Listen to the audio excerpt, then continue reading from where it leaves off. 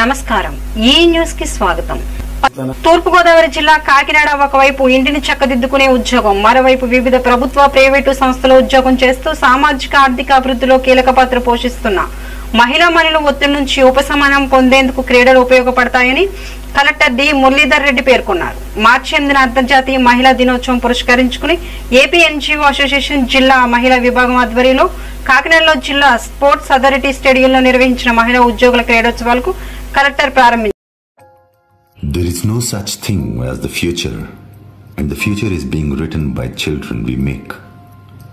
Mind needs engagement, and we find it through understanding the child.